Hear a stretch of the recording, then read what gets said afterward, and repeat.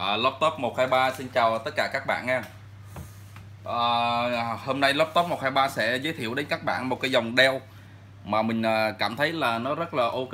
À, cho các bạn nào mà à, xài à, bên à, đồ họa này cũng như là à, chơi game nhẹ đó mà giá cả nó phù hợp và chất lượng à, à, tốt nè rồi mẫu mã thiết kế đẹp nè giá tốt thì uh, mình giới thiệu cái dòng à, để các bạn biết cái dòng là 5570F các bạn. Cái dòng này là của à, hàng đeo chính hãng Viện Sơn phân phối mới ra. Nó rất là hay các bạn. Để mình sẽ giới thiệu cơ- sơ bộ về cấu hình của em à, đeo 5570F cho các bạn xem. Những em này thì phù rất là phù hợp cho các bạn dân thiết kế này hoặc là các bạn sinh viên học và thiết kế đồ họa này hoặc là chơi game vẫn là ok nhé các bạn. Với cái tầm số tiền à, tầm 20 triệu này á, thì à, à một chiếc à, các bạn sự sở hữu một chiếc đeo i7 là quá hợp lý các bạn ạ. Đây mình giới thiệu bề ngoài trước. Đây là cái mẫu thiết kế đeo 5570F các bạn i7 Xin nữa các bạn xem mình giới thiệu cấu hình là các bạn sẽ thích ngay à. Đây cái mẫu thiết kế bên ngoài này đây bây mình sẽ giới thiệu chi tiết các bạn xem. Bây giờ đeo 5570F á là nó là i7 8550 à, U. À, RAM của em này là 8GB DR4 à, nó có thể à, gắn thêm à, maximum 32GB nha các bạn. Và đặc biệt á, em này nó gắn cái SSD các bạn à. Đây là RAM các bạn RAM bớt 2004 nó còn chống một khe này các bạn. Chúng ta có thể nâng cấp thoải mái lên i7 này 8550U này, tốc độ 1.8 này dòng này là tới 4 nhân các bạn. 4 nhân 8 luồng xử lý và là à, đây các bạn 80 kết kết bộ nó là tới 80 e lực đây nó à, có DVD các bạn dòng này nó vẫn có DVD rewrite luôn. Mặc dù là nó gắn S nó vừa có khe gắn SD vừa có à, HDD nhưng mà nó vẫn giữ được à, ổ đĩa DVD luôn. Rất là hay đây các bạn H uh, ờ, kênh nó gắn là 256 GB M.2 PCI các bạn. Cái dòng này á, là nó mới ra sau này nó gắn uh, tốc độ là SSD PCI luôn. Rất là ok. Và có card đồ họa AMD Radeon R7 4GB nha các bạn. Card con này là mình test ra là 4GB 5570F là, là i7 là card tới 4GB lận. Màn hình là Full HD luôn độ phân giải 19201080 rất là ok các bạn i7 này 8550 RAM 8GB chúng ta có thể nâng cấp lên được.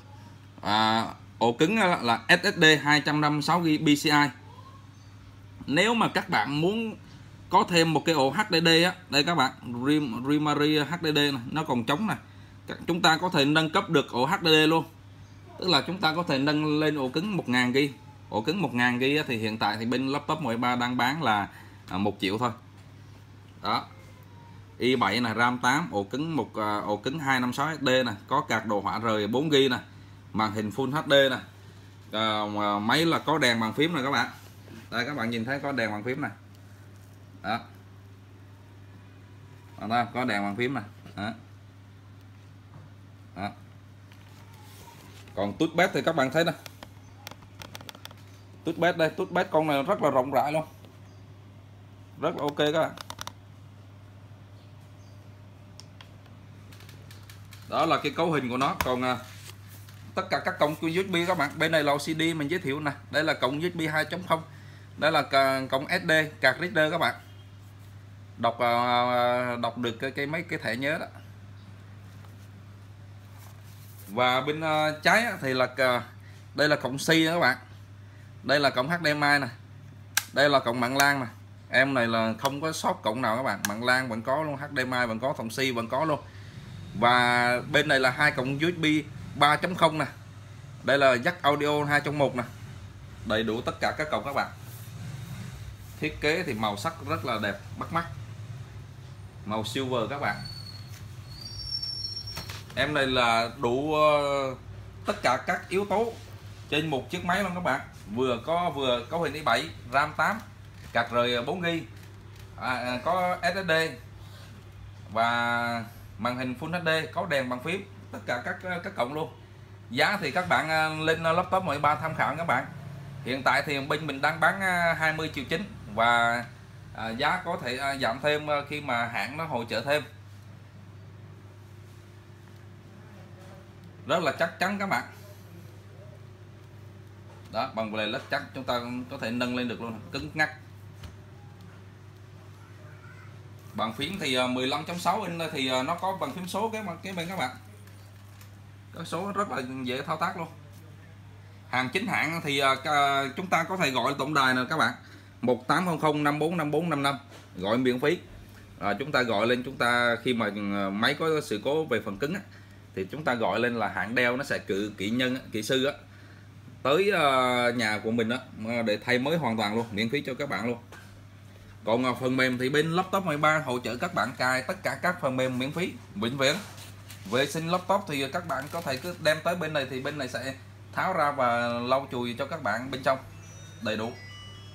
Rồi để mà xem chi tiết hơn á thì các bạn có thể đến à, laptop 13 trải nghiệm trực tiếp xem trực tiếp. Nếu các bạn mà thấy à, em này mà ok á, thì các bạn đừng có quên nhấn subscribe và like dùng dùm kênh laptop 13 nha rồi xin chân thành cảm ơn các bạn.